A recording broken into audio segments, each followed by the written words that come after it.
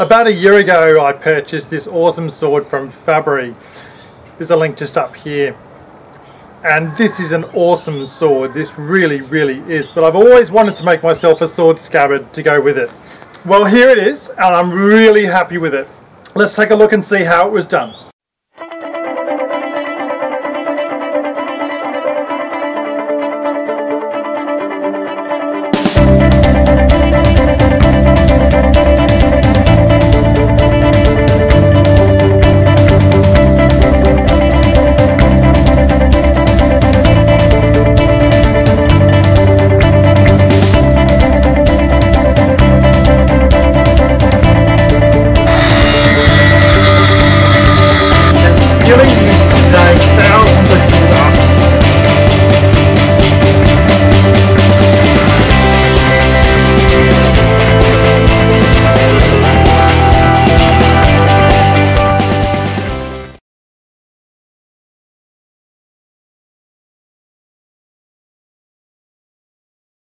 Alrighty guys, so looking to make a scabbard. Um, so I purchased this Fabri sword uh, last year, 2019, and I wanted to get a, a, decent scabbard for it.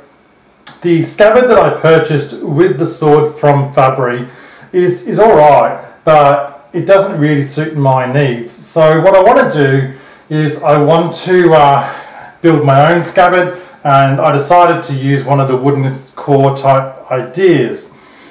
So these are historic. Now there's a couple of things that I'm going to point out straight away. Number one is um, some of them were lined historically with linen, some of them with fur. When you're using uh, wool to line your scabbard with, if the fibers point down, it becomes harder to draw your sword out. If the fibers point up, then it becomes harder to put your sword away. The second thing that I'm going to say is, and obviously some scabbards were actually unlined as well. We have found uh, examples of those. So, uh, the next thing to say is wood type, radio. Now, there's a several different types of wood that you can use for this quite successfully and quite historically accurate. So you could use poplar or beech, um, both are absolutely fine. Uh, poplar is very light but it does break and when I say it breaks it more cracks than breaks as such. However, um, and it is very historically accurate. I'm not able really to get hold of very much of either of those, I guess due to the lockdown. So what I'm going to use is some fairly thin pine. So there's two ways you can essentially make a scabbard using a wooden core. So option one is you uh, take two pieces of fairly thin wood and you gouge out or you carve out or you extrude from that sufficient room to place the blade and you also want um, enough room in there for the for the lining. I've done this a bit unsuccessfully recently. I think this is about my third attempt. So I'm a little frustrated with this process. However, we're giving it another go. Uh, and I'm also wanting to make one of these for my son at the moment as well. I'm using pine uh, now, the other thing that I'm going to add is you actually probably want more room on in the scabbard than most historical reenactors probably would use. Um, and we'll address that a bit later once we've got the scabbard in our hand. Because I say that because the wood will swell as it gets damp because wood is essentially what they call hygroscopic. So it absorbs moisture. As it absorbs moisture, it will swell. Uh, alrighty, so let's get on with this. Now what I'm going to do is the second of those methods that we just spoke about, and that is to take, instead of two pieces of wood, you take three. So uh, you take one piece of wood and you essentially cut out the room for the blade, and then you place uh, a piece of wood either side of that. Um, because these are very, very thin pieces of wood, that's pretty much what I'm going to end up doing anyway. Uh, so so that's what I'm going to go with. The way to do this is you want the sword placed pretty much dead center in the piece of wood. You need a roughly, at least minimum, one centimetre width around the blade for the scabbard. Now I'm just going to measure that to make sure we're dead centre. Yep, there we go. All right. And then what I'm going to do is just trace around. Uh, now what I'm going to do is just trace around the blade. So this is what I'm going to cut out.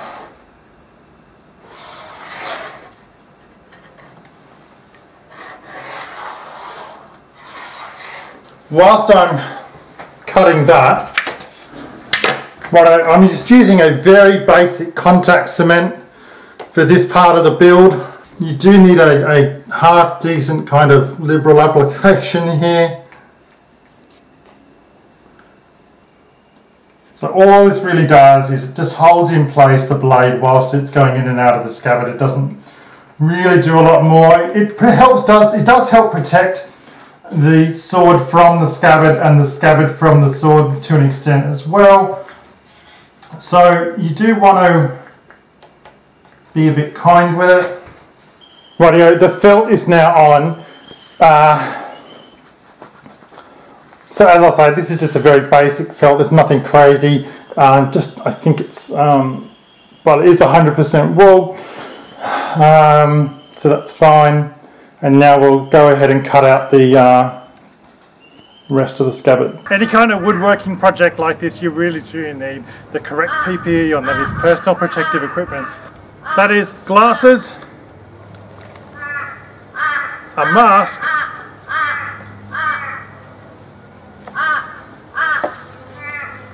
and ear defenders. Alrighty, so let's just get this cut down.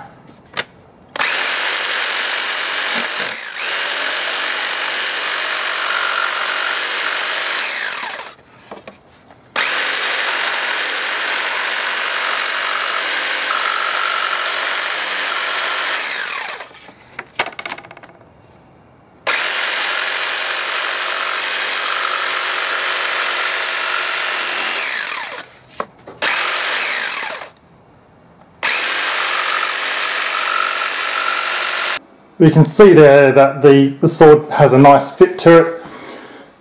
Righto, next thing we're going to do is just glue these pieces together. I'm using just a very simple white glue.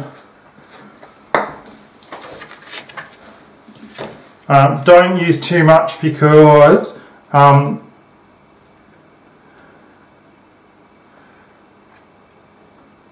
as you put the pieces together, what can happen is the glue will get into the gap where the sword goes and your sword will no longer fit.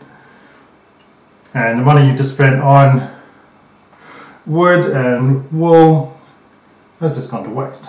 Alright. So that fits onto there. This one now fits onto here. Everything should line up pretty sweet. Now again, the trick is don't apply too much pressure. Now I managed to get hold of these C-clamps actually quite cheaply from my hardware store called Bunnings. I'm in Queensland, Australia.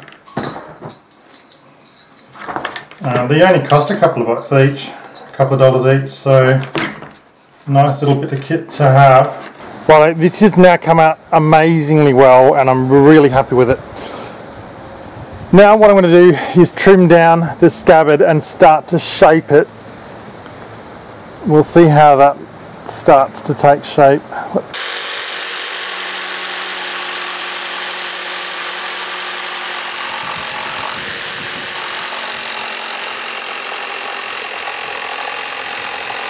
So now we've got the rough shape, what we're going to do is just sand it down. I know it looks a little bit uh, crazy at the moment, but there we go, we'll, we'll work it out.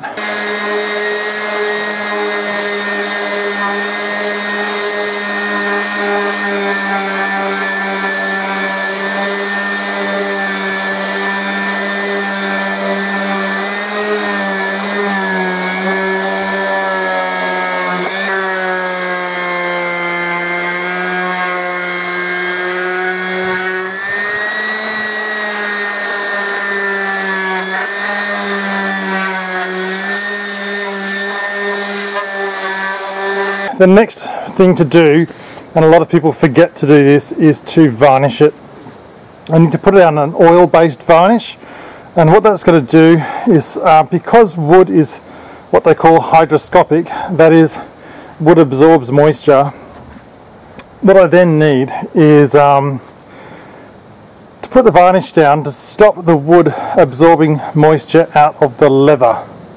So let's, uh, let's have a crack at that. It really doesn't matter what kind of finish you use on, on the varnish, no one's going to see it. It really, really, really doesn't matter.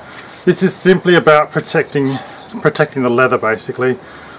If the wood absorbs the moisture, what happens is the leather will crack and the scabbard won't last. So you really got to build it, build your scabbard properly right from the get-go Right, so I'm just going to use a very basic kind of adhesive. This is called Tarzan's Grip. It's just a simple contact cement. You only need to really hold these in place. Um, there's really no need to go crazy. All you're really doing, as I say, because uh, once you have applied these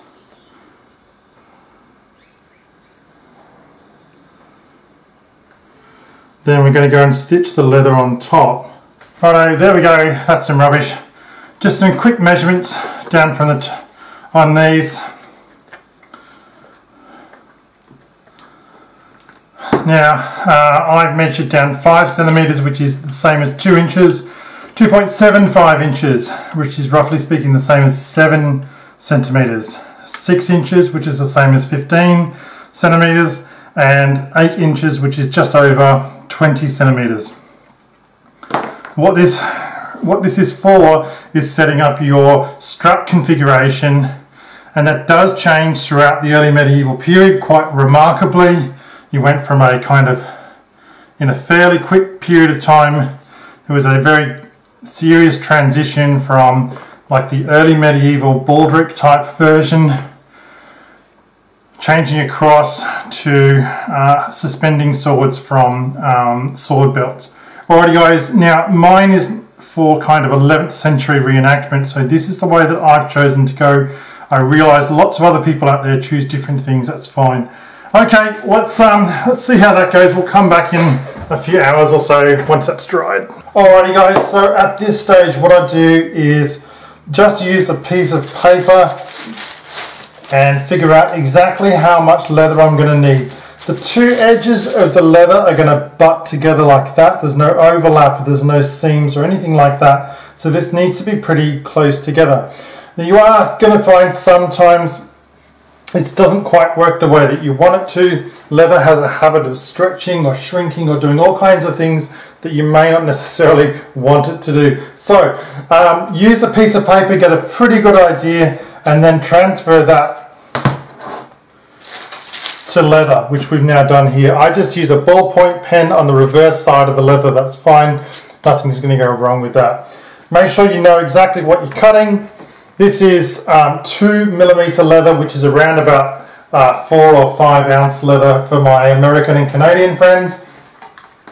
Now when it comes to cutting leather, um, make sure you have a good quality straight edge and a nice quality knife with a good sharp blade. For those of you who are new to leather work, it can be pretty intimidating making cuts in leather. Leather's obviously a very expensive item.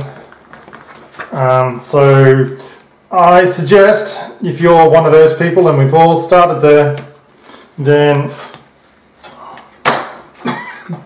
get some paper and make sure you cut a really good quality pattern. Alrighty, now that's our piece of leather. Essentially what's going to happen is we just roll this over and the two sides meet up pretty well. Okay, you want to make sure you've left enough room that because the leather will, as I say, shrink. Right, the next thing we're going to do is we are going to uh, use what's called a stitch groover. So a stitch groover simply creates a very small gouge in the in the leather work and it means that I can have a consistent width from the edge of the leather when I'm doing my uh, stitching to keep everything nice and neat. It also means the stitches go underneath the um, surface of the leather and that way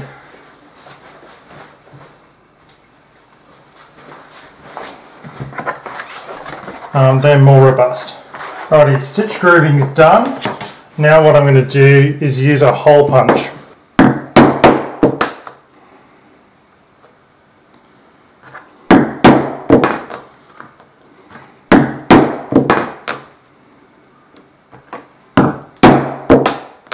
Now you don't have to stitch groove and you don't need to use a hole punch. What you might do is use um, a, a, sewing awl or something like that which will pierce the leather. My issue with that is that um, leather's phenomenally expensive at the moment and I don't necessarily think that that's going to create the best outcome for me anyway.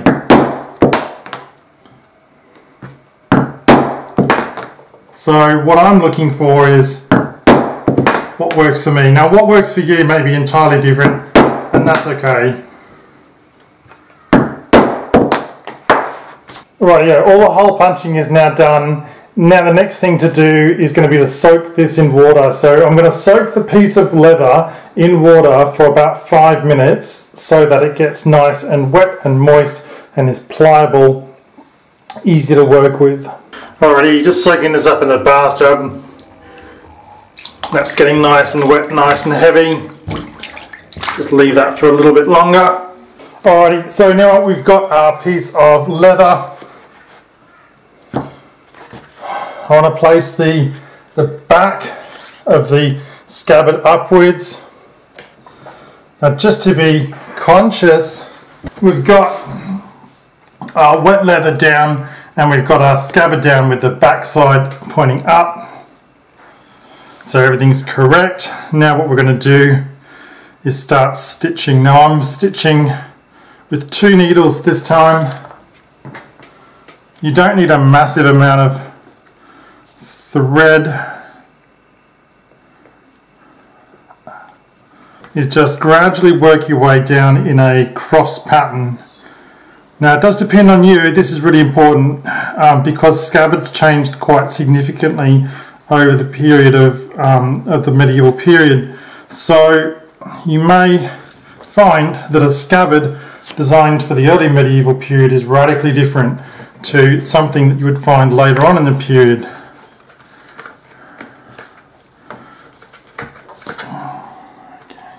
Different technologies, different materials, different all sorts of things. Um, you don't you don't want to rush this because it's only going to end in disaster if you do, but at the same time, you don't want to be just dragging your feet about it either. Uh, I find like today's a reasonably warm day here in Brisbane and it's actually getting the the leather is drying a lot drying out much quicker than I anticipated. You just need to be a bit methodical with your stitching and don't pull too hard on the individual stitches otherwise you'll rip the leather but you um, you can pull on the, the cord. Now I use um, a, a waxed linen thread. Yeah, I use a waxed linen thread which is really good for this. Um, it's nice and easy to work with. Just very simple and straightforward. And then when it comes to the end, I can just burn it. Um, Alright, so I just pull the two cords and pull them tight. And that keeps all of this nice and neat. if you're trying to push down on your risers, don't use your fingernails or a piece of metal or something because it'll damage the tooling. This is really quite wet leather um, and it won't uh, it won't and the advantage of it having been this wet is that um, it's really easy to dye the leather because the leather the dye will just absorb really really easily. Which are exa exactly what I'm looking for. And that's the kind of result we're looking for. Alright, so once you finish stitching all I do because I've got a wax linen thread just cut off the ends. Just be a little bit careful what you're doing and singe those down. There you go done and we've now got something starting to look a lot like a sword scabbard.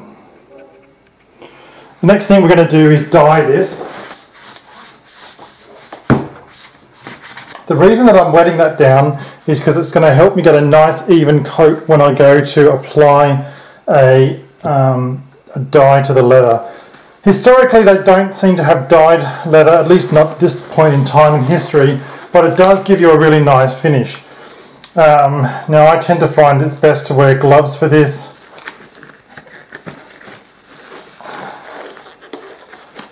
And the dye that I'm using is a Leathercraft dye by Maclace Leather. You may find you need to put on several coats and that's fine. It just depends on uh, you and your project.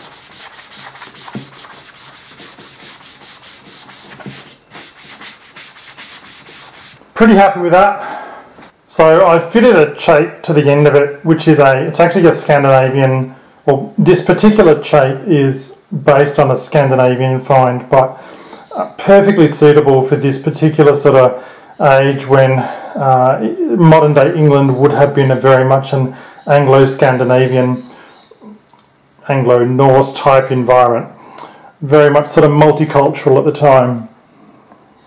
I'm currently just working on the second strap of my of the, the sword belt, so to speak.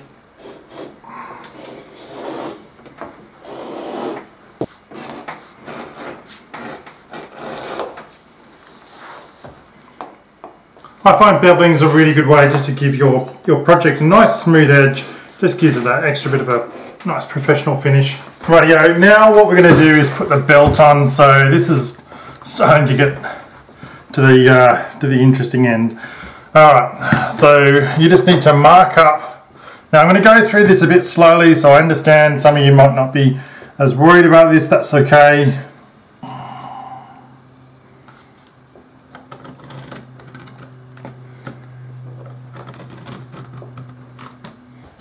Right, here, there's a guy called Peter Johnsson, which I'm going to link in the description below.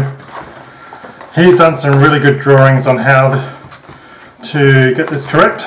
And it does take a little while and it does seem a little weird, but once you get it, you get it and that's fine. Right, so we've threaded the top strap through here. Now what happens is the this strap goes around goes between, comes out, it goes, and then, so from this point, it now just wraps around behind and you come back over this one. Now what we're going to do is we're going to cut a couple of holes in the scabbard itself to thread through. Rightio, so we've just cut a hole in the scabbard leather here and we're going to go through in this section here and we'll need to touch up the dye, that's fair enough. So this comes around and now goes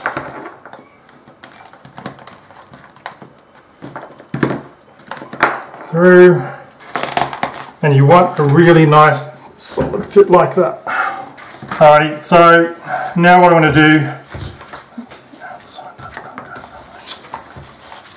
do is sew on to the second belt, okay?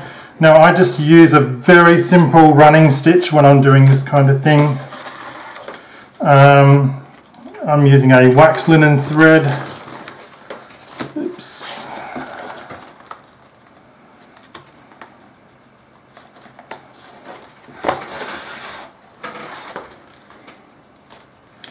And all I'm going to do is go one way and then go back the other way. And you basically end up with a saddle stitch. Uh, really, really, really strong stitch. I really love it. Super simple. I like it. And then just singe the ends off. This is just a wax linen thread, so too easy.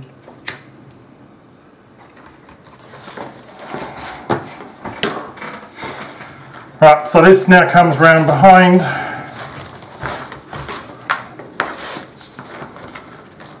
And we want to finish them over here. Rightio, now, now just to finish this off, what we're going to do is we're going to do a crown knot. So that means we're going to loop this one round twice. Now this one then comes around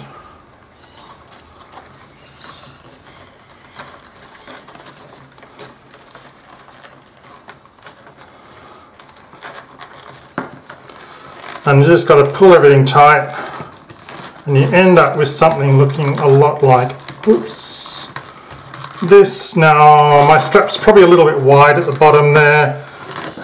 And I'm just going to go and touch up the um, the dyes and then that's all finished. Righto guys there we go. All finished all done. I'm really really really happy with this. It's come out really well. Well there we go guys. The sword scabbard's all finished all done and I'm really super happy with it. Lots of adjustability, obviously. I might cut this belt down just a little bit in the future, but you need to have plenty of room depending on what winter kit you're wearing, depending on what type of armour you're wearing. But you don't want it getting in the way. Rightio, I really hope you've enjoyed today's video. Please like, subscribe and share. I'll catch you my next video.